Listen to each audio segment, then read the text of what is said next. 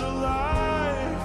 You can't force the stars to align when they fall ready.